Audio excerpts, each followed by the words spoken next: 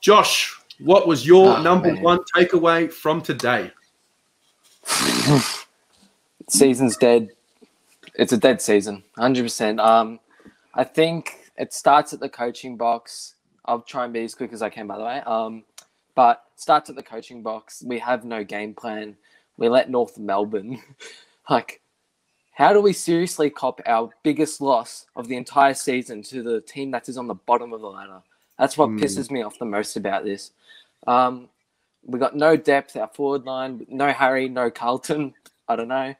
Um, some of our players are just not confident. Look at Petrevski-Seton. All he does is 15 meter kicks. All, all it's his special specialty kick, the little uh, chips. Um, now, for the people that are saying Teague needs to go by Monday, I don't think so. Just let him coach the season out. Um, the players don't need another distraction. There's already enough going on with the review.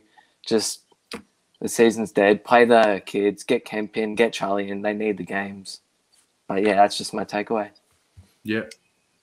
I love it. Short and sharp, efficient, mate. I love it. Love your work. All good, mate.